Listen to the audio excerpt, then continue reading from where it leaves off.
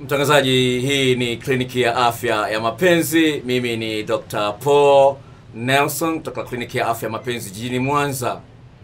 Siku hii ya leo nakuletea mada inayosema majina matamu ya kimapenzi.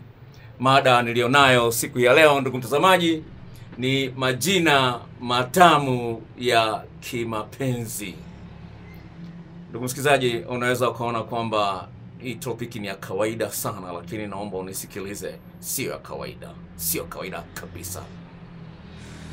Katika ulimwengu huu kila mtu ana, ana majina na kila kitu kina majina, lakini tambua kwamba mtu wa kwanza kuleta kanuni ya watu kupeana majina ni Mungu. Kwa hiyo Mungu alitoa majina na alikuwa na sababu zake. Kuna nguvu ya ajabu sana katika kutoa jina.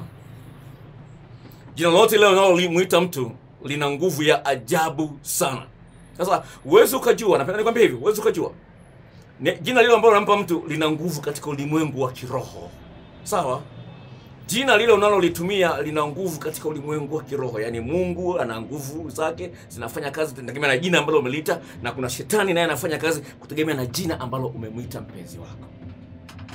Sawa. Kwa hiyo kuna majina ya kimahaba ambayo lazima yatumike ikikuongezea ah, nguvu penzi lile, lakini sio hilo peke yake, vile vile kuleta utofauti katika uhusiano uliomo. Utofauti ni kitu cha msingi sana, ili usiboreke na mpenzi uliye naye. Ili mpenzi uliye naye asiboreke na wewe, lazima ujifunze kutafuta kutafuta utofauti katika maeneo mbalimbali, na moja kati ya maeneo ambayo unapaswa kuleta utofauti ni jina unalomwita mpenzi wako wetu anaitana mama fulani, baba fulani, huo ni ujinga. Sawa, mwite mtu majina ambayo of course yanaonyesha kwamba huyu mtu ni mtu special. Baba fulani na mama fulani, wacha waite majirani. Sawa, majirani waachie, wana, wana uhuru wa kuita vitu kama hivyo. Sawa, lakini kuna majina maalum. Unajua ni nini? Mungu alionyesha umuhimu wa kubadilisha majina katika Biblia. Yakobo alikuwa anaitwa Yakobo. Baada ya Mungu kutaka kumbariki zaidi, akambadilishia jina akaitwa Israel. Abraham, Mungu alipombariki akambadilisha jina akamwita Ibrahim. Sarai mke wa Ibrahim, Mungu alipotaka kumbariki na kumpatia mtoto mzuri sana, akabadilishwa jina kutoka Sarai akaitwa Sara. Unaweza ukaona jinsi gani kubadilisha jina inakuwa na nguvu sana. Mtume Paulo alikuwa anaitwa Sauli, akabadilishwa baada ya kuokoka akaitwa Paulo. Kwa unaweza kuona kwamba unaweza kuona watu wanabadilisha majina ukafika kama ni fashion. No, sio fashion. Kuna nguvu katika jina unalolibeba. Katika, katika ulimwengu wa kiroho kila jina lina nguvu yake. Kwa hiyo inategemea lile jina litavuta vitu gani kwenye maisha yenu. Hmm, sawa. Sasa watu wengi of course wamezoea kuitana baby, mai, hani, vitu kama hivyo, lakini kuna majina mengine ambayo of course yana nguvu zaidi kuleta utofauti na kulipamba penzi lenu. Hili ni jambo ambalo napenda nizungumzie siku ya leo. Kuna majina kadhaa ambayo nimeyaainisha na ningependa nianze kuwaletea majina hayo na kuweza kuyapamba na kueleza jinsi gani unaweza kuyatumia. Neno moja ambalo of course ni rahisi kulikumbuka, watu wanaitana sweetheart. Sasa sweetheart ni jina sawa, lakini ukilibadilisha ukalipa uh, sura tofauti inaitwa sweetie, sweetie, sweetie. Unaona kuna tofauti sweetheart na sweetie. Inaleta aina fulani ya ukali wenye nguvu ambao unashika akili ya mtu kwa haraka. Na mpenzi wako anataka kumsifia juu ya uzuri wake, sawa? Sambia wewe mzuri sana, no. Mwambie uko hoti, sawa? Unaona uko hoti, lakini kuna neno ambalo lafuzi ni fupi, sawa? Waita hoti. Hotie. No, kama vile sweetie unabadilika hotie. Unajua hoti ni kitu chenye moto. Hotie. My hotie. No, inaleta kitu tofauti. Sawa? Hilo ni jambo la msingi sana kuangalia kwamba jinsi gani unatengeneza utofauti. Umeshawahi kumwita mpenzi wako my everything? Yaani wewe ndio kila kitu kwangu. My, you are my everything. Unaona, you are my, ev- my, everything. Vipi upo? Yaani majina ambayo unaweza mnaitana watu wengine hawajui unamzungumzia nani. Unaona? Unaona unaona unaweza tofauti. Unaweza kuna una- yani my, my everything bwana, yani yuko busy kweli leo. Ah, my my everything?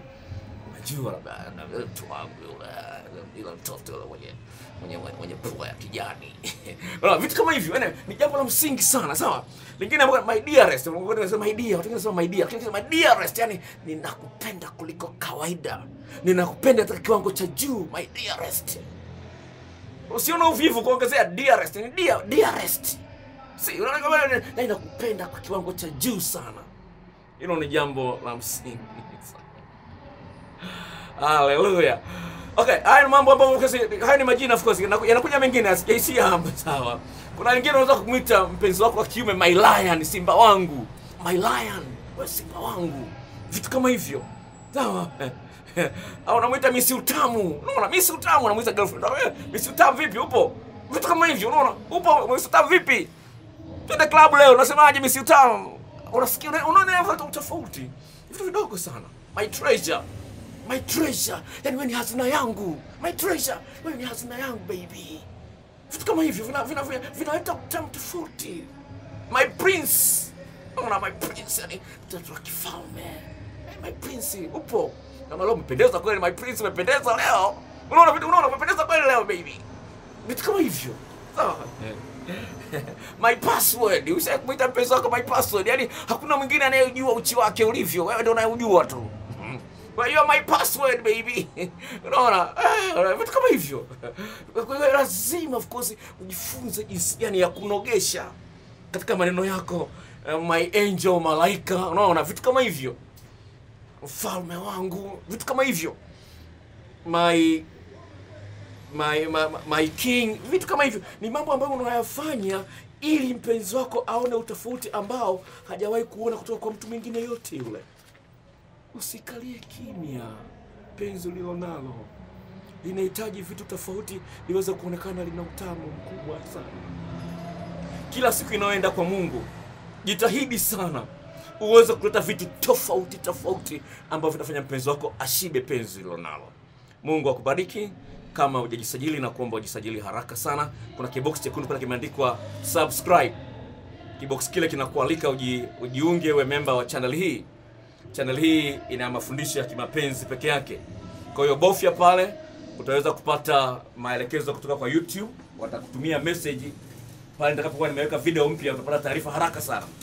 Kwa gharama za youtube watakutumia message wewe hilo ni jambo la msingi sana uweze kufuatilia video mbalimbali ambazo naziweka, unaweza ukashare na marafiki zako na vile ningependa furahi ku, kuona komenti zako pale na kama umelike vile vile iongezee nguvu vile vile. Mungu akubariki na kutokea mahusiano yaliyojaa tamu te, tele mahusiano yaliyojaa furaha tele na mahusiano yenye matumaini kwamba yataongezeka utamu.